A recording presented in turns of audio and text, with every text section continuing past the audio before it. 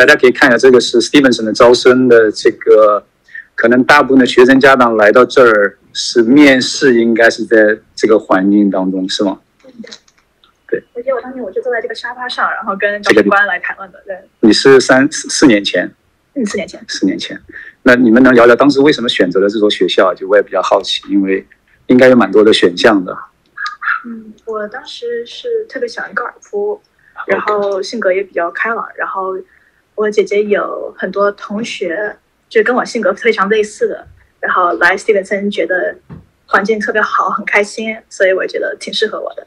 那不错，哎，零点，我也是，我就是觉得地理位置非常好，因为又在海边，就，又在森林里，呃，就又离旧金山不是特别的远，呃，所以就是一个很好的环境，而且所有我当时就是来 tour 的时候，所有人都很友好，呃，所以我就选择了。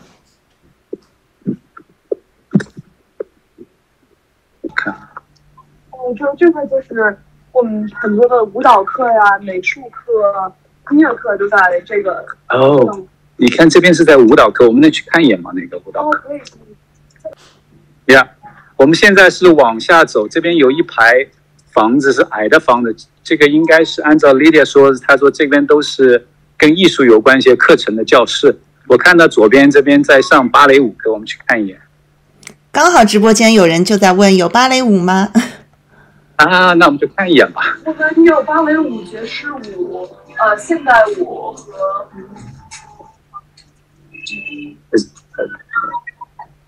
哎，我们看看。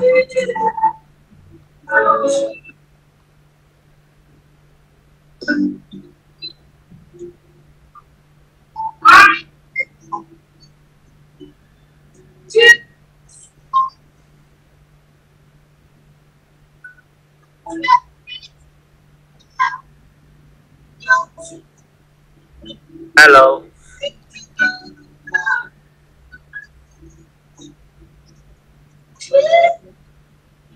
这边好不好？那那你们这个课就是说是几点钟开始？这是属于选修课吗？还是？嗯。